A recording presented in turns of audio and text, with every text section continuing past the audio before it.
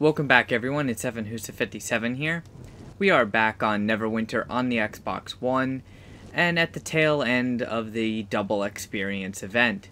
So today I have another video for you, and this is going to be a tip on the best way to get power points. So, you know, those little pesky things that you use to level up your powers and you normally get one basically every time you level, but you can earn extra ones once you reach level 70 by over leveling after reaching level 70. Now the problem with over leveling is it takes about 1.1 million XP to over level, and it's not guaranteed that you will get a power point in doing so. As you can see I have 75 power points here on my paladin, and on my control wizard I actually have like 95 power points. So I virtually have every single power that I could ever possibly want to use maxed out. So what you want to do is you want to keep an eye on the calendar. If you don't know where it is, it's under the social tab. Go down to calendar and it takes it usually a little while to load, but you want to keep an eye on it because they will show the events that are coming. So uh, right now it's a double XP event, and that's the event that you're looking for. And actually here at the end of April, there's going to be another double XP event. So you can watch the video and then you can get ready for it. Now normally you would go ahead and do quests and kill things and basically all of that leading up to uh, and during the double XP event to get the power points. And you can still do that if it's your main character. But like this is my paladin, he's my alternate character. So I wanted to do it the easy way. And by doing that, what you want to do is you want to go to the Drowned Shore, uh, you want to go to Reclamation Rock, Fiery Pit, and Spinward Rise. And you literally want to pick up and complete every single one of all of the vigilance tasks. Literally every single vigilance task you can get your hands on and I'm not going to go through my quest log here because as you can see it's just absolutely full. I literally have every single quest that I could possibly get in here done and I did them all right before the double XP came out and now what I want to do is I want to actually turn them in. But to show you, uh, most of the quests you will get like uh, go and kill so many of an enemy type or go kill this enemy and pick up so many uh, stone statues or whatever, picking an item. Once you have all the requirements for the vigilance task complete, the item can be deleted from your inventory, with the exception of the quest-specific items for the Fiery Pit. The Fiery Pit quest-specific items, like uh, these iron torches and stuff, those cannot be deleted out of your inventory. As you can see, I go down to discard and I can't discard them. So those you'll be holding on to and they'll be taking up inventory space until you can turn the quest in. Now, what you want to do is you want to put on, uh, since the double XP event is out, you want to make sure that you have everything on that gives you XP gain. So in this case, I'm going to put on my inscribed garment set uh, go ahead and put those on.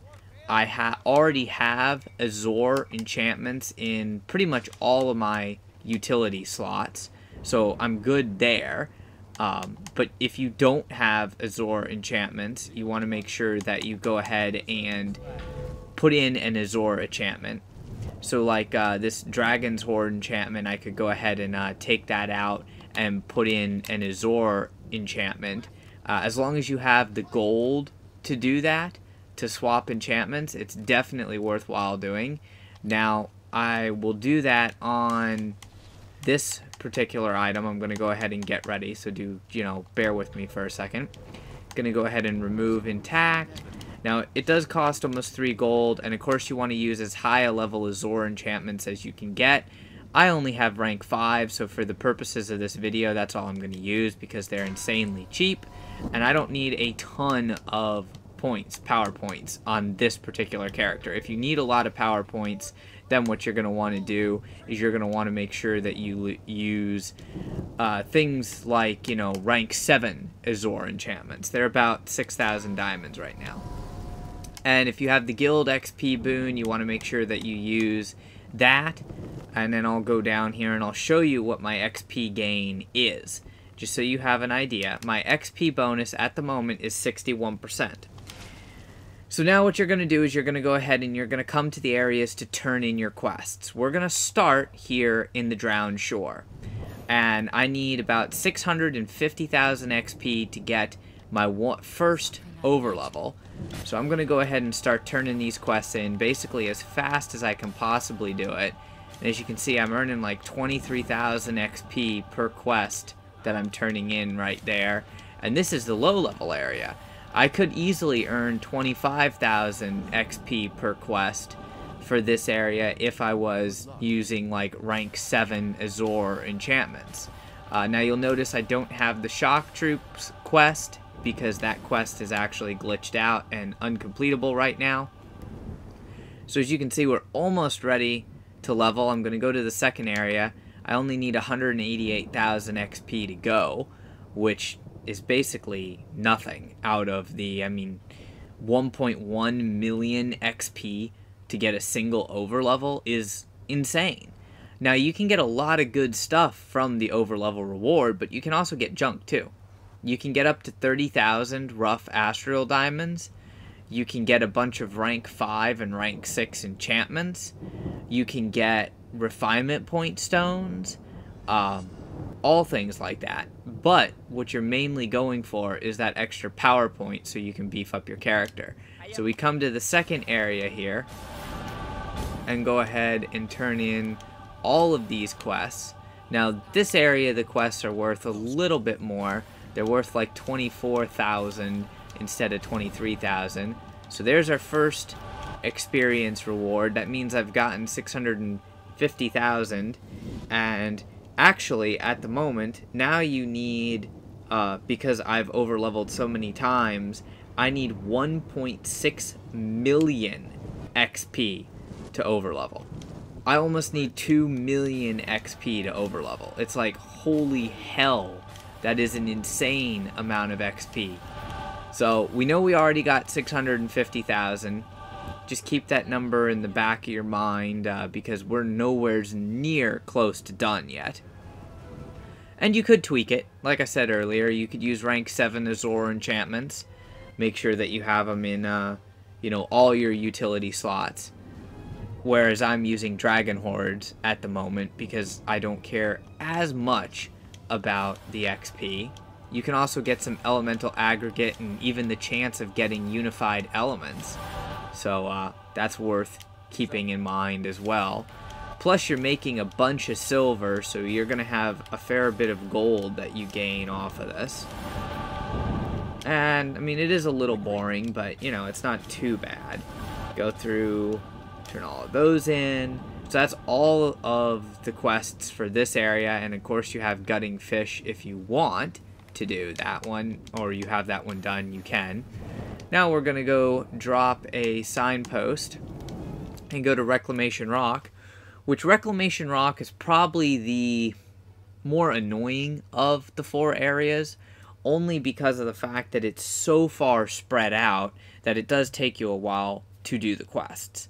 But once you get them all done, it's easy. Now, I will say, don't do this too far in advance of a double XP event, because your quest journal will actually start to lag when you go in it, when you have this many quests. So, start off here in the first area of Reclamation Rock. Gonna go ahead and turn in all of these quests and just rake in that XP. Look at all that XP coming. Almost uh, three quarters of the way to uh, my next overlevel. So not bad there. Now we're going to go to the second area of Reclamation Rock which, like I said, Reclamation Rock is an area that's pretty far spread out, and that's really what makes it very annoying. Um, you actually have four spots that you have to go to for quests in Reclamation Rock, whereas all the other areas you only have at max three. And the Fiery Pit and Spinward Rise, you actually pick up all the quests in the same spot. So we're going to come up here, and this guy has a few quests that you'll get from him So go ahead and turn all of those in. Now we're going to go into the main area that you get the quest from, which luckily there's an entrance right here, so it's not too terribly bad. You do have to go through a loading screen, which makes it take a little bit longer than, you know, some of the other areas, but for the XP, it's worth it. Now, I know some of you are saying, well, why not just go ahead and do these quests while the double XP event is active? Well, the reason why you don't want to do that is it takes a long time to actually do the quests. Then you have to wait for certain quests to come off cooldown. Remember, they reset every hour, so if your timing is off, you could literally be off by one minute, and you come back to get the new quests, and you're a minute late. And you're just like, oh, damn, you know? I'm one minute late, now you gotta wait a whole nother hour to be able to get the quests, and it's just not an efficient use of time. Plus, for the majority of the events, there's usually more than one event at the same time. So you'll usually have like double XP and a call to arms like we have right now or double XP and double diamonds, or double XP and double refinement. I mean, pick your poison. But there's usually always a combination thereof events. And that means that your time could be better spent leveling up other characters, or actually farming for diamonds, or something along those lines. So by doing these quests, you don't have to do them all at once you can do a few on one day and a few on another, or do them in between queuing up for dungeons or skirmishes or whatever. Um, and it's just a way to make a little bit extra. You know, uh, it's basically min-maxing. So we'll go ahead and, of course, uh, wait for my graphics to load in there. Like, wow, Neverwinter. Um, amazing. That was weird. Game's like, you've earned too much XP, go away. Got another elemental aggregate out of the deal. So this is the last area, thankfully, for Reclamation Rock. And there's that Unified Elements, which you need a lot of those for making elemental gear. And another experience reward. So remember, I had 650,000 XP, plus I needed another 1.7 million so right now, I've earned about mm, 2 million roughly. I mean, I earned 1.7 mil plus the 600,000, so it's actually about 2.3 million XP, and I still have two areas to go. So drop another signpost, and now we're going to go to the Fiery Pit. You can also do some other quests, like ones for the Guild Stronghold and things like that, but since those quests reset uh, every day, it's more efficient to just do those quests and turn them in and get the rewards from them. You don't really want to hold on to them. The only ones that you want to hold on to are your vigilance tasks. So now I'm going to get to clean up my inventory and go ahead and turn all of these in. I had those three quests there that I didn't do simply because I could never actually get here at the time that they were available for pickup. It was really annoying and just very aggravating, but it's one of those things. So go ahead and turn in all of these quests.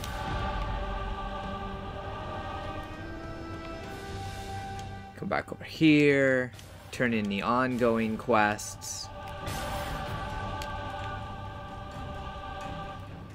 And I still got a few more quests from this guy to turn in. Yeah.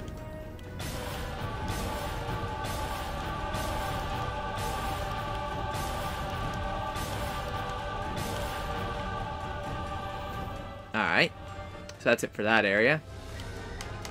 Last spot, Spinward Rise, which is going to be the one that the quests are technically worth the most for. Uh, again, it's a easy area for turning in the quests because they're all in one spot. It's an annoying area for the fact that it's the hardest area in the game.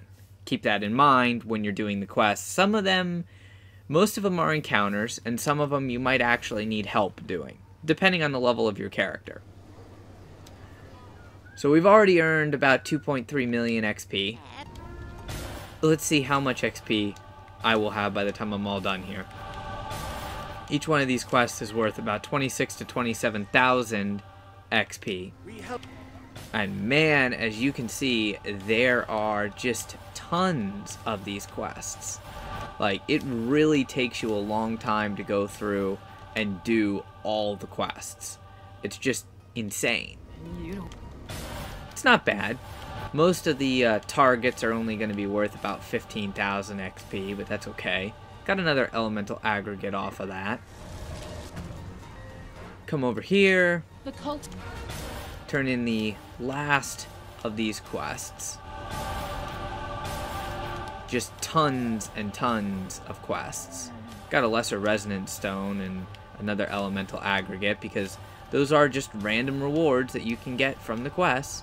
There's another experience reward. So that worked out. And last couple quests. So I had like 2.3 plus the other, you know, mil. I'm already basically over 3 mil uh, XP just from all of these quests all of these quests that I turned in have given me about 3 mil worth of XP. I need 1.5 mil to get my next XP reward, which is kind of crazy. So what I want to do, I'm not going to worry about that right now uh, because I'm not going to be farming anymore. I don't have any more, uh, you know, quests to turn in. So I can go back to my manage item enchantments, destroy that, and go back to using my dragon hoards. Now, I gained about 3 million XP off of that, but that was only using two rank 5 in, um, Azure enchantments. So, if you were using rank 7s, and remember, you can have a utility enchantment on your helmet, your gauntlets, your boots, your belt, and your necklace, or necklace, cloak, whatever you're using. So you can technically have a total of five utility in slot or utility enchantments slotted at one time. Um, definitely makes it really powerful. Uh, it gives you a lot of XP gain if you want to do that, and it's definitely worth, in my opinion, going and actually doing. Um, it helps out a whole lot. Now we're gonna see. Normally, I would save these experience rewards until you have like on the 28th where you've got double XP, double enchantments, and double diamonds because no matter what you get, you'll get a bonus reward. But since I got three of them, I'm going to go ahead and open one. And wow, okay, I got lucky on that. I didn't get a power point, but I got 30,000 rough astral diamonds. So that's a prime example of why you want to hold on to those until there is at least a double diamonds event. Because on the off chance you get that diamond reward, well, instead of getting 30,000, I would actually have gotten 60,000. So like I said, I'm going to hold on to the other two, but, you know, those 30,000 diamonds will be useful. And if I get any more power points, you know, later on, that'll be useful as well, because then I'll be able to get the rest of the abilities that I use up to level 4. Hopefully you guys enjoyed. If you have any questions, comments, anything like that, make sure you leave a comment. Uh, I hope you enjoyed watching the video, and remember, if this is not a double XP event that you are watching the video in, then you're good. Just go ahead and check the calendar and see if there's one coming up. If there is, get your quest ready, and you'll be able to farm for power points. If you don't need power points, at the very least, you can go ahead and farm for those experience rewards because like you've seen, I just got 30,000 diamonds for free. So, anyways, remember, smash the like button, go ahead and share the video with all your friends, and subscribe for more content. Keep your powder dry.